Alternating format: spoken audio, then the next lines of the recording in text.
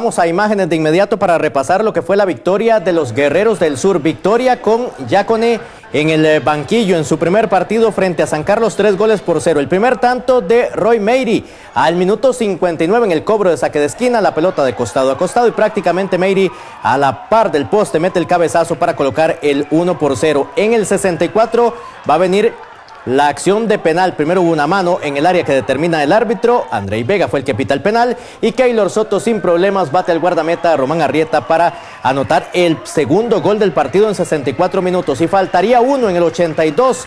Jorge Davis en una gran acción marcó el 3 por 0 definitivo. Noveno lugar para los Guerreros del Sur, ya tienen 12 puntos y recortaron la diferencia a solamente 5 con respecto al cuarto lugar que es Liga Deportiva Alajuelense que está en zona de clasificación. Observamos lo que dijo José Yacone al final del partido.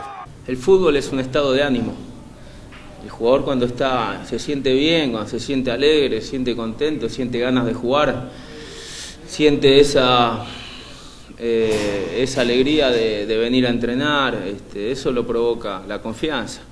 Y, pienso que este equipo tiene que retomarla. Ha tenido mucha mala suerte eh, anteriormente, había hecho buenos juegos en el anterior proceso con, con Mauricio y no había tenido fortuna.